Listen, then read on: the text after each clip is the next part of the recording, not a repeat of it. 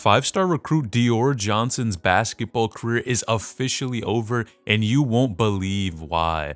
Now, Dior Johnson just a few weeks ago was actually arrested on assault charges and he allegedly beat up his girlfriend throwing her against the wall and making her even throw up twice and allegedly even chasing her with scissors. Now, these were some crazy allegations for sure. And of course, you guys know the school followed up with action and ended up suspending him from the entire school. Now, what recently just dropped was actually Dior Johnson pled guilty to the misdemeanor charges, which is crazy to think about. Now, if you do like this type of basketball news and updates, please like the video and subscribe to the channel.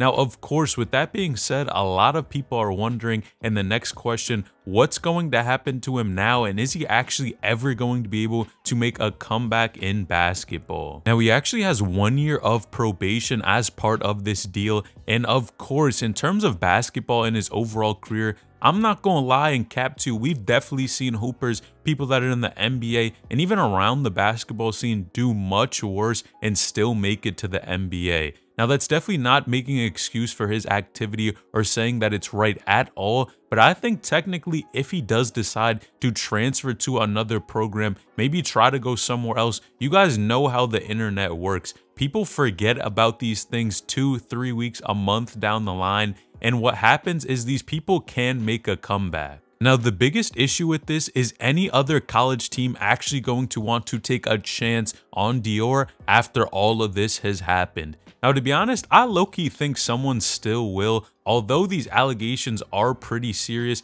I think if he does go to a different program, he might just get away with it, be able to go and hoop at another school. But it's definitely going to be a, a tough time since big name schools are probably not going to want to deal with these sort of allegations and really the negative press that comes with him transferring to their school. Now, did you know five-star basketball player Mikey Williams' career is officially over after making this terrifying decision? Well, click this video on the screen because you won't believe what it is.